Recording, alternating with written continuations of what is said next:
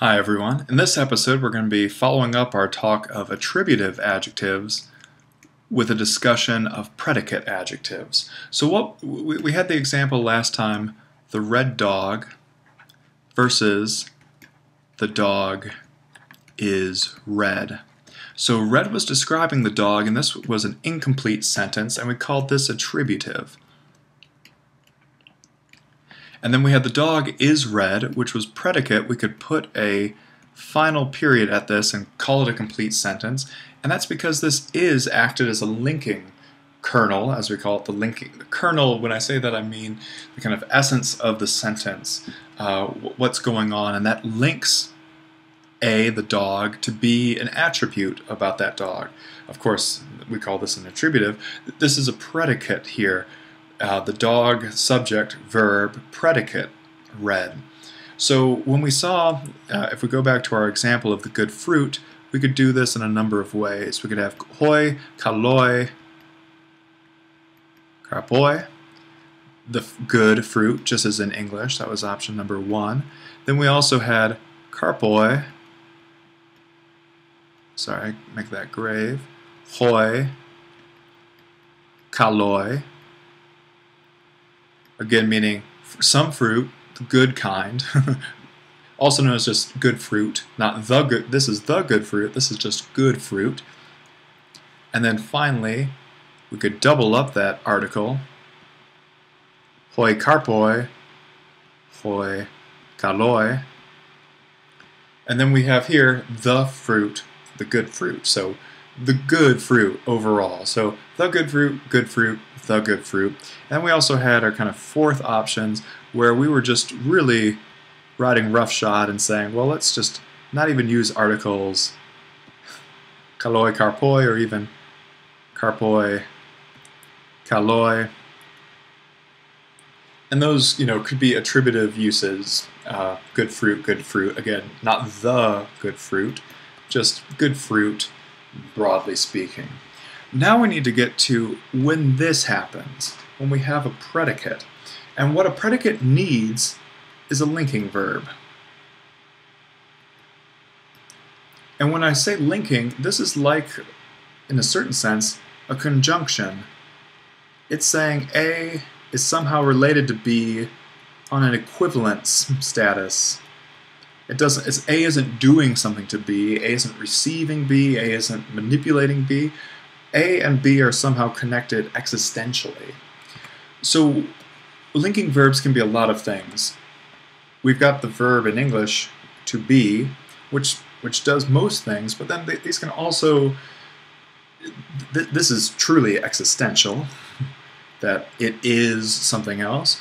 Uh, but there can be kind of perceptions of e existence uh, that also form these linking kernels. So this is where you know, it seems to be somewhere. It looks like something else. It becomes something else. So this is a sort of existential that's put over time. It's made diachronic. Uh, we have the same item that's becoming something else. These are all linking verbs, and what they will do is take a predicate use of the adjective. The man is becoming red with anger. Both man and red can be in the nominative, and that's where we're going to get this nominative use of the article.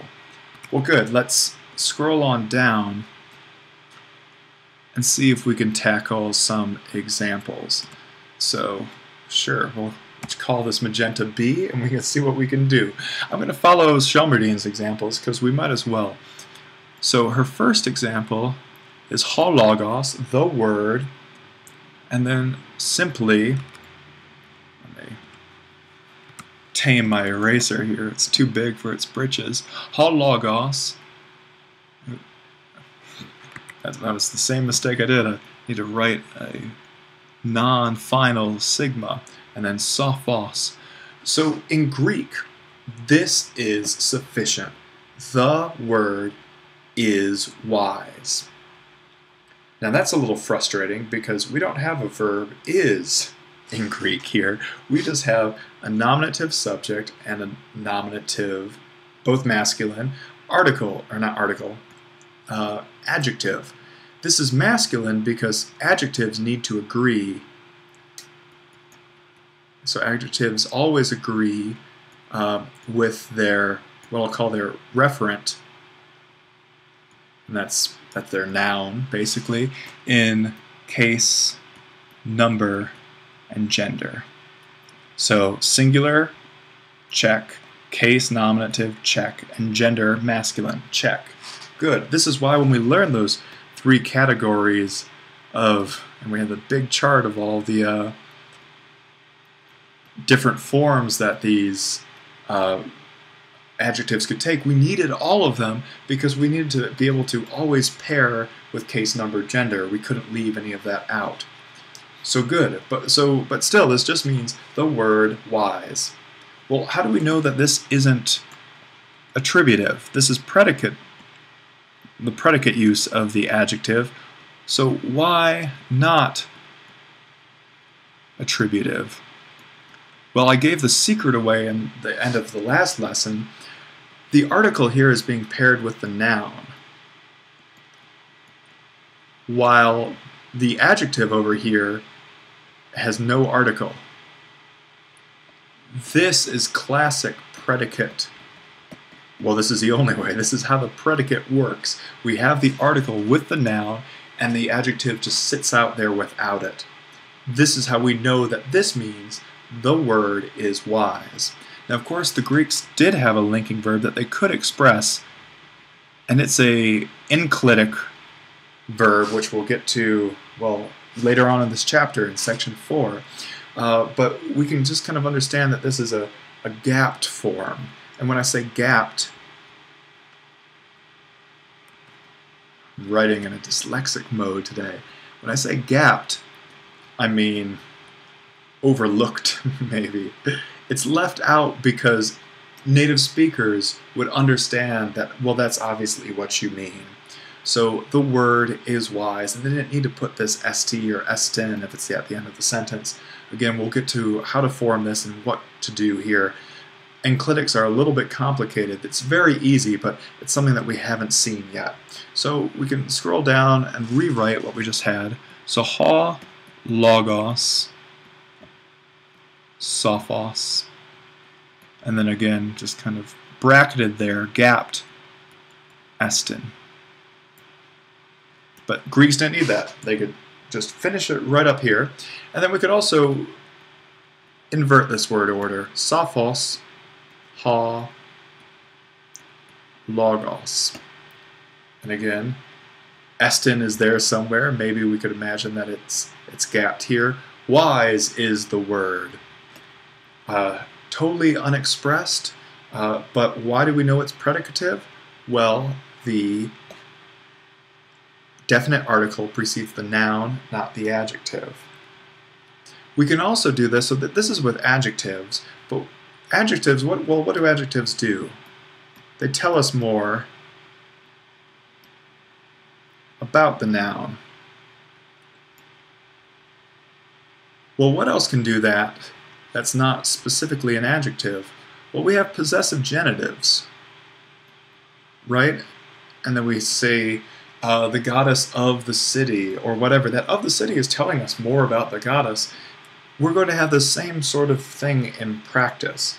Uh, so we had already had attributive use of the possessive genitive. Now let's make it a predicate use. So the example Shelmerdine uses is ha hippos, the horse, and then we want to say is of the general. So then we have esti.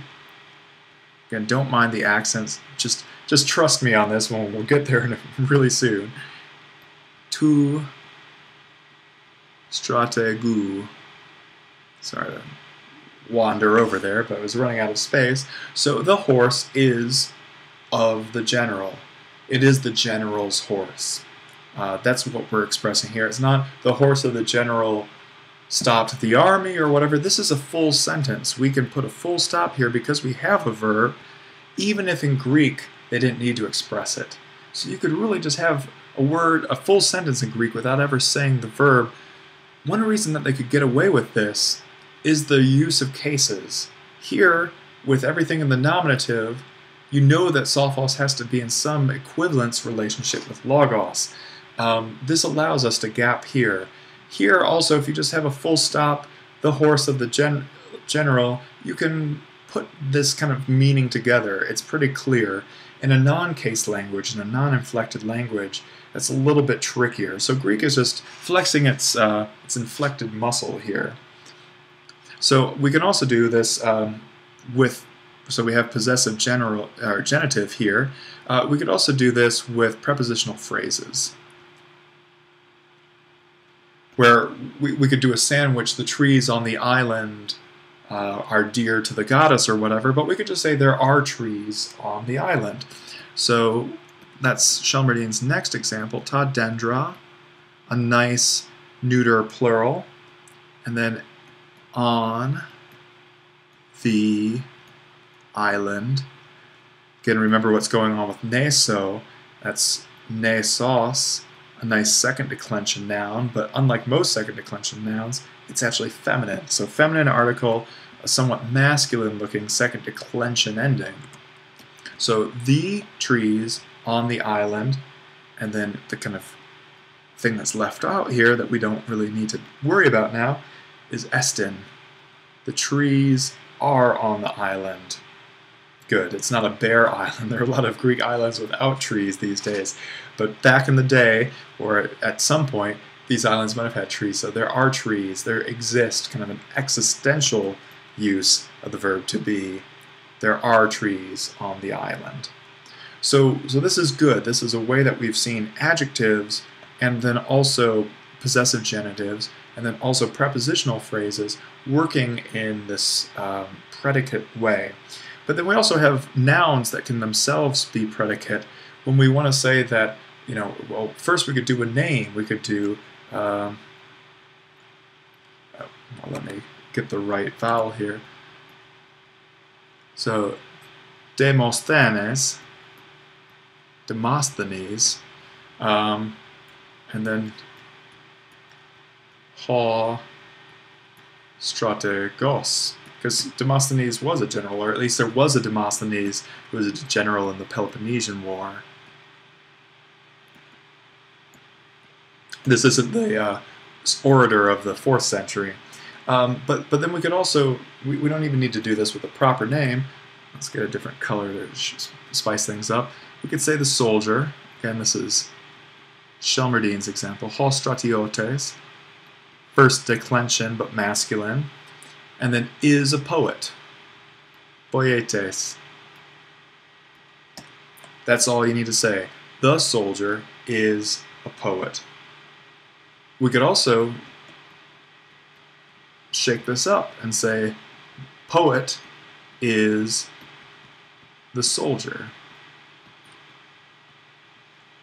In both cases, the English translation, we use what has the article as the proper subject. So in both, what you know, we have two ways of expressing what in English we have to express one way.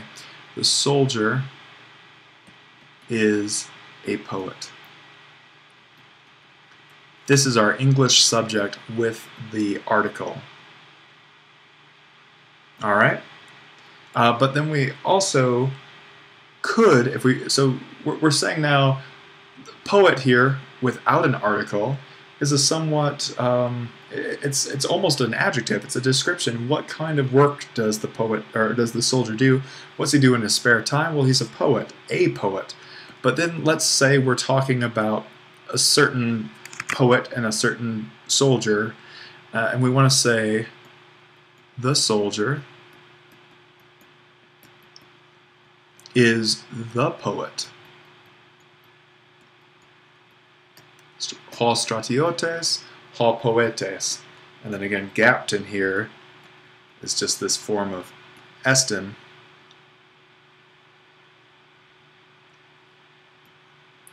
But we don't need to worry about it. This is the soldier is the poet. And for our English translation, when both nouns, both the subject and then the predicate, have the article, we follow the Greek word order. We want to say the soldier is a poet in this case. Uh, if we were to reverse the word order in Greek, we'd also reverse the word order in English. So back scrolling up here, We could express this ho stratiotes poetes or poetes, ho stratiotes, both meant the soldier is a poet, and we knew the soldier was going to be the subject of our English sentence because it had the article in both cases. Here, when both nouns have an article, we need to follow word order. This is where we have to pay attention. The soldier is the poet. Well, good. I hope that was clear. This distinction between predicate and attributive is a little tricky, especially when I'm using these linking verbs that we haven't yet learned. Well, the good news is in the next episode, I'm going to be talking about how enclitics work, which will explain some of these accentuation rules, and then finally also how to actually conjugate the form of to be in the present tense. That's going to be lesson 7.5. Uh, so join you there and have a good one. Take care.